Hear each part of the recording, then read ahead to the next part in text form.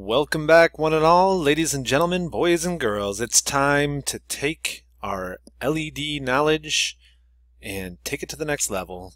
Today we are going to uh, continue on and we're going to write a program that takes a number between 0 and 255 and converts it into a binary number, so 8-bit number, 1 byte, and it will light up the LEDs on our breadboard um, accordingly. So a zero value would be an, a light that's off, and a one value would be a light that is on. So let's get to it.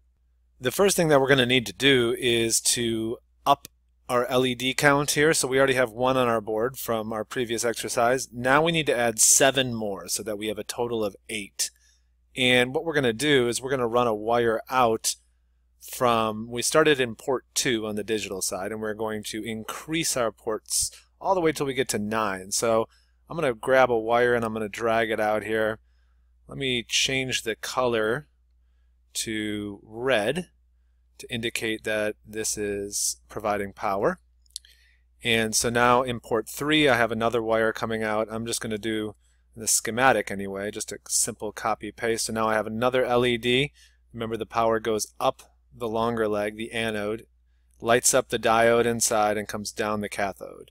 And then we have this power rail here. We're going to jump to our uh, neutral rail right here that runs the whole length of the board by uh, attaching a, new, uh, a resistor.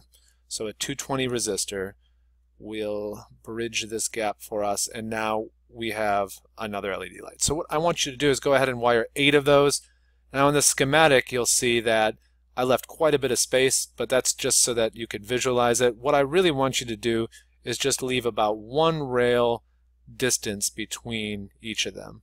Uh, and that'll be about the width of the head of the LED light. So go ahead and take a moment to wire up eight LED lights.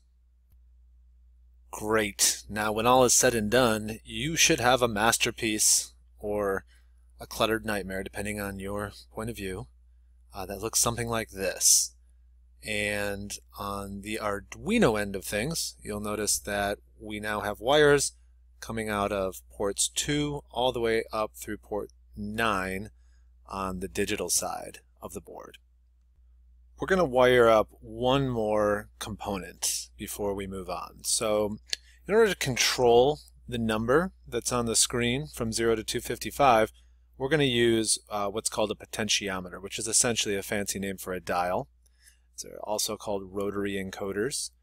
And this is going to, as you turn this dial, it's going to take a number from 0 to 1024 and it's going to pass it into the Arduino. And we're going to use that number to determine a number between uh, 0 and 255 so that you the user has some input over the number and then our LED lights are going to light up accordingly. So your LED lights should be on the left hand side of your breadboard here. I'm going to put the uh, potentiometer over on the right hand side.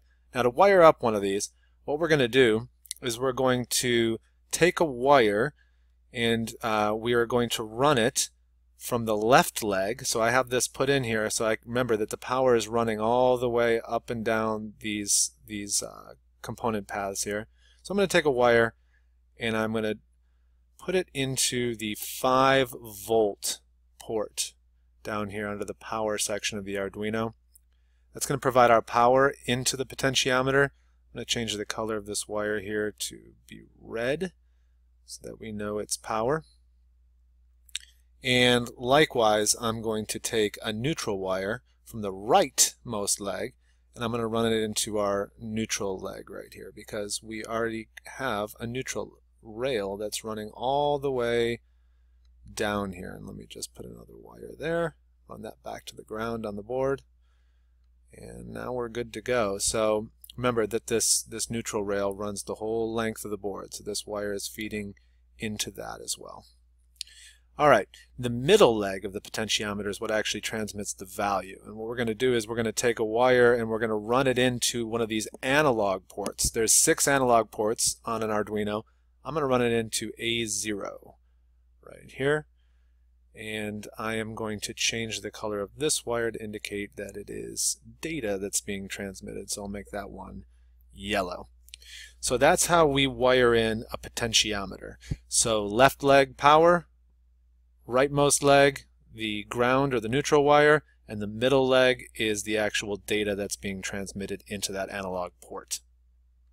Now that we have all of our components wired, I think this would be a good time to take a break uh, and be, pick up again uh, with processing and taking a look at how we're actually going to code this up. So stay tuned, one and all.